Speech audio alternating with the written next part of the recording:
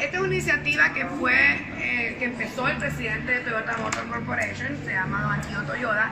Él, él, quería despertar el interés, sobre todo conocer qué es lo que pensaban los jóvenes y los niños sobre cómo deberían de ser los carros del futuro.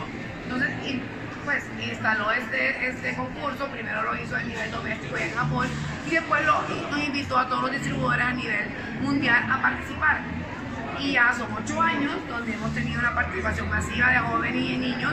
Yo quiero agradecer a las escuelas públicas, privadas, que los maestros han sido parte fundamental en apoyar a, a los niños a que participen, los padres de familia también por darnos el consentimiento de, de, de, de poder pues, tener las obras de sus hijos y poder exhibirlas.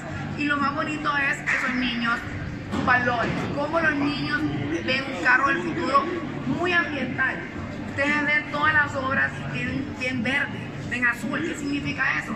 Que los niños están queriéndote ver áreas verdes, que los niños están pensando en que debe de haber agua en el futuro. Entonces yo creo que son lecciones que nos dan a los mayores para que les cuidemos el ambiente y les cuidemos la tierra para estos niños que son el futuro de nuestro país. Y la verdad que muy, muy entusiasmados porque las obras están lindísimas y sobre todo lo más interesante es cómo eh, ponemos Honduras en lugar muy alto al participar con estas iniciativas a nivel mundial.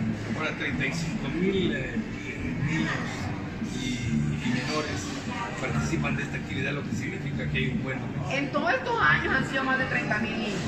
Este, este, año han sido entre 3 mil, 3 mil niños más.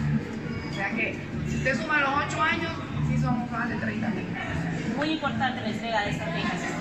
Sí, y los premios hemos, hemos querido eh, apoyar a los, a los, a los padres eh, y los premios son becas, becas que se les da a las instituciones donde los niños estudian o también, por el caso de algunos que han sido de, de escuelas públicas, se les ha dado pues un curso de, de, idioma o se les ha dado otro tipo de capacitaciones.